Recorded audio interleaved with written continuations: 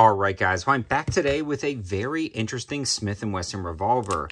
This is the 431 PD, which is chambered in 32 H&R mag. This is a six-shot revolver with a single double-action trigger and an exposed hammer, and the J-frame airweight frame series, very similar to the 642 Smith and the 442 Smith, very popular in 38 Special. This gives you one more round and slightly lighter recoil with that 32 H&R mag, and because it's chambered in this cartridge, you can actually also shoot 32 Smith & Wesson long, and it's widely available, at least it is at Target Sports USA, the sponsor of today's video. Now, these guys have a ton of different ammo, and if you're looking for obscure calibers, it's incredibly easy to navigate. And on top of that, they've got an Ammo Plus membership service where you can sign up and get 8% off and free shipping with no order minimums. When I purchased this revolver used, but in like new condition, I headed straight over there and found the cheapest 32 Smith & Wesson long on the internet, grabbed a couple of boxes, saved my 8% since I signed up for that program, and got free shipping. It's a great opportunity. If you sign up using the special link over on the campsite page and it's your first time, you'll get something free with your first order. Now let's dig into the full overview of this handgun. Now, why would you want something like this for your collection? And for me, this is a very interesting personal defense style revolver.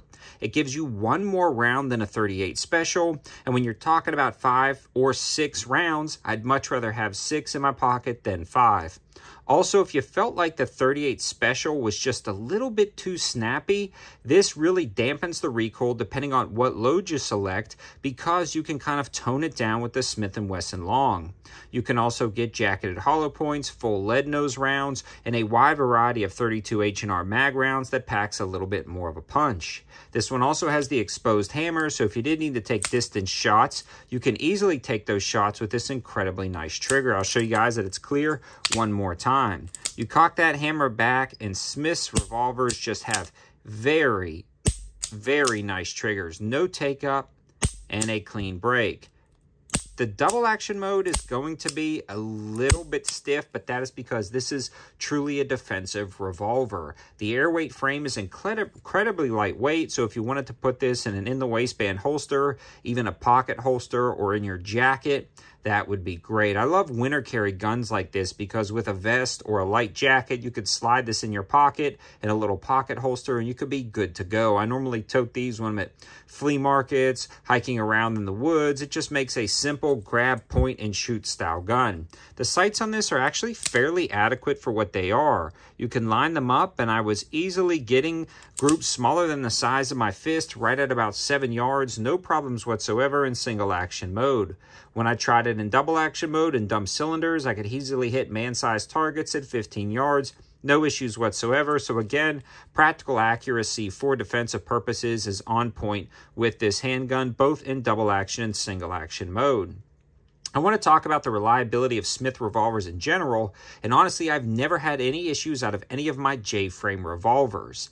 Now, there's some other revolvers that I've been shooting for a while, which is the J-frame size revolvers and all steel, and they definitely absorb the recoil a little bit better, but the 32 H&R mag in an aluminum airweight frame is like the perfect hybrid between lightweight concealed carry and having a potent round inside your cylinder, again, having that plus one without getting any thicker than some of the other revolvers. In summary, this is a very unique revolver, and I'm super glad to add it to the collection. This one's not going to stay in just the drawer somewhere. I'm actually going to carry this revolver.